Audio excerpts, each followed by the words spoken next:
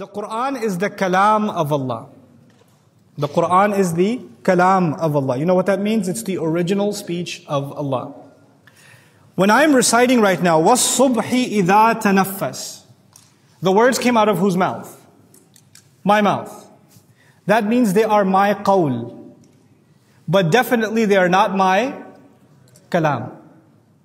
They are my qawl, but they're not my kalam. The Quran will describe Quran as kalamullah. Hatta yasma'a kalam Allah. But now when it comes to qawl, when Allah speaks, it's His qawl. When Jibreel speaks, it's His qawl. When Rasul speaks, it's His qawl. But whatever their qawl is, the kalam still belongs to Allah Azza wa Jal. Now, in the study of hadith, you probably know, in the study of hadith, one of the most important things is a chain of narration which companion heard from which companion, heard from who, and who heard it from the Prophet ﷺ, and how many people heard it from him. And are these people reliable? There's a chain of narration. As a matter of fact, the entire Quran reaches us through a chain of narration. The Prophet recited this Quran to his followers, who recited it to theirs, and how, that's how it came to us. The Quran starts with that chain. But the first link of that chain is actually not the Prophet. The Prophet has to get that Quran from the angel. And the angel has to get that Quran from the seventh heaven, from the company of Allah. So if we're going to have an authentic chain, we have to go all the way to the top.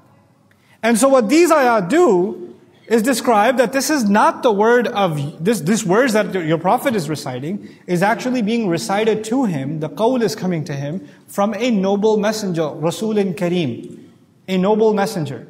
The previous surah already described that the revelation was being written down. Now we're learning, once it's written down, it comes and is delivered in the form of qawl by a noble messenger, meaning Gabriel, Jibril alayhi salam. What is the description of Jibril? Dhi quwwatin. Before I translate that, I want to share with you that, you know, the Bible calls him Gabriel. We call him Jibril or Jibrail, right? And these names, they're originally from the Hebrew Bible, uh, Gibril, or Gabriel. That's the Hebrew version of the name Jibril. And Gabr in Arab, in Hebrew actually means power. And Il means God, meaning the powerful creature of God. So the, the word Jibril in Hebrew means the powerful creature of God. And what does the Quran do? Allah says, إِنَّهُ لَقَوْلُ رَسُولٍ كَرِيمٍ ذِي قُوَّةٍ possessor of power, possessor of might.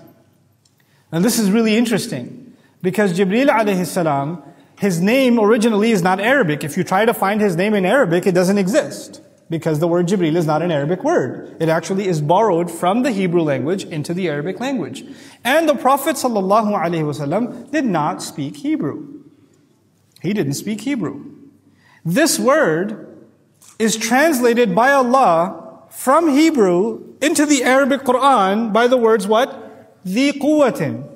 How does the Quran know that the meaning of Jibril's name is the quwa? It's because it's the same source. The revelation of that scripture is the same. That's those stars, what's left of them, were also sent by Allah. And this revelation is also sent by Allah. So it's actually even in the way that Allah says dhi quwwatin is already proof that this is not the word of Muhammad sallallahu alayhi wasallam.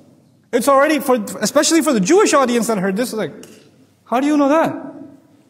You know, Gabr ilan, actually from it, the Arabic meaning, this close Arabic root is Jabr, which also means power. Right? And from it you get Jabbar. Right? So now, the quwwatin inda dhil arshi makin.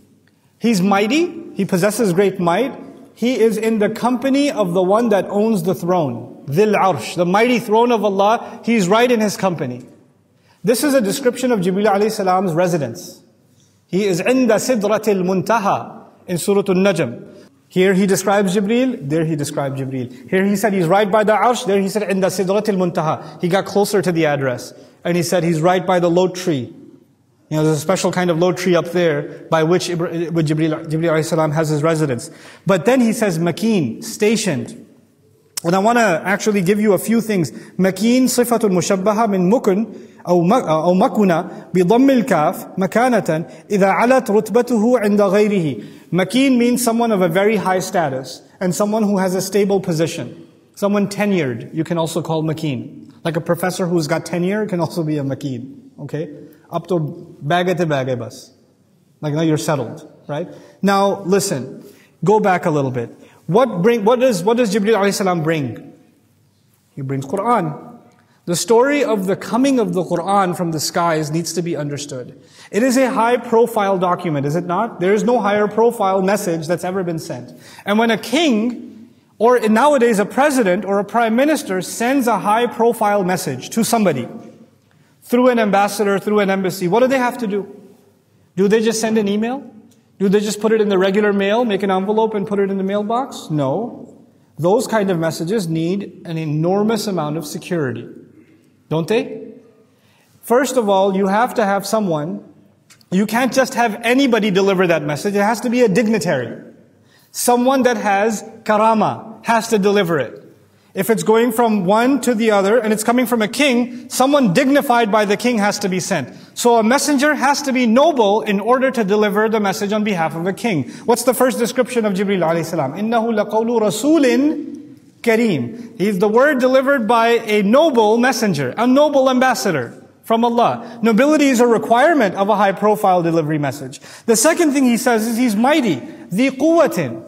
Why is his might and power important? Because this is a classified important message. There may be somebody that tries to steal this document. There may be somebody that tries to gain access to this document.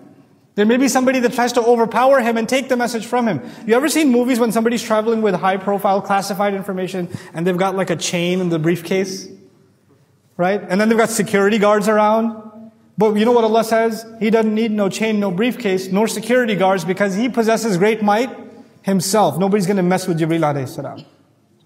And then you need someone who's very close to the administration who the administration can entrust, not only someone noble, but somebody very close to the position of power, so that there is no chain. Like you don't say, for example, it's a classified message, and I, I imagine I'm the president, I'm not, but uh, you know, I'm the president, and I want to give this to my ambassador. I'm not going to give it to some intern at the White House to hand it to the ambassador. I need to have direct access to who? The ambassador. There's, there can be no one low profile in between. Because it's highly sensitive information. Which means that ambassador, whoever that is, that vice president, whoever that is, has to be very close to me. What does Allah do? Not only is He powerful, عِنْدَ ذِي الْعَرْشِ He's right by the, by the arsh itself, the throne itself. In other words, there's no one between Allah and Jibreel alayhi salam. That proximity. Right? And that's how it's delivered. And then, this has to be someone who has been around for a while, and whose rank is respected across the board. His experience, his tenure is important because he'll know what to do. And also, others need to respect that that's his majal, that's his space, nobody can touch that space. He's qualified and that's above everybody else's pay grade. What is captured, what one word captures that status of Jibreel alayhi salam? Makin. ذي قوة رسول كريم ذي قوة عند ذي العرش مكين. And then that's not enough. When he decides to deliver the message, when Allah sends him down to deliver even one ayah of the Quran, when he comes down with one surah of the Quran, Allah says that's not enough. You can't just go alone. Muta'in. He comes with a legion of angels. Muta'in means followed. Previous surahs we learned, the scribes of the revelation are multiple in number and righteous in number. Other place in Quran, in Surah Al-Jinn, you're going to learn, when the Quran started coming down, the entire sky was covered with angels, and the jinn that used to go hang out, they had different parking lots around different planets, where they used to go hang out, they can't hang out there anymore. They can't go up there anymore. And they're like, what's going on? Why is the sky on lockdown? We don't get it. That's in Surah Al-Jinn. And when they finally find out the Quran is coming, they're like, oh, that's why. Hey guys, you just watched a small clip of me explaining the Quran in depth as part of the Deeper Look series.